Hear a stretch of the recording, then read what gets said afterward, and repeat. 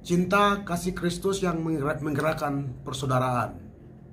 Natal 2021 mengingatkan kita untuk saling mengasihi dengan segenap hati dalam kasih persaudaraan yang tulus dan ikhlas. Yesus Kristus yang kita rayakan kelahirannya mendorong kita untuk saling mengasihi dan mewartakan keadilan dan membawa damai.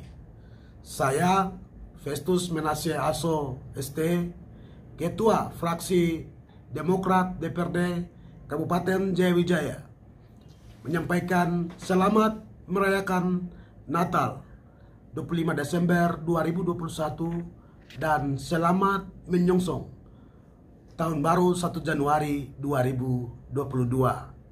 Kiranya Tuhan berkati kita sekalian. Wah, wah, wah, wah, wah.